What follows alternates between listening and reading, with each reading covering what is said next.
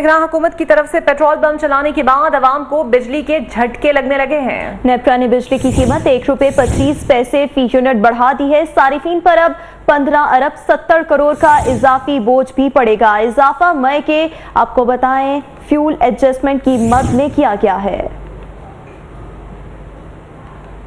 सार्फिन पर 15 अरब 70 करोड़ का ये इजाफी बोझ डालने की तैयारी निगरान हुकूमत कर चुकी है और पेट्रोलियम कीमतों पर पेट्रोलियम मसनूआत की कीमतें बढ़ाने के बाद आवाम को अब बिजली के झटके देने की तैयारी शुरू कर दी गई है। नेपरा ने बिजली की कीमत एक रुपये पच्चीस पैसे फ़ी यूनिट बढ़ा दी है।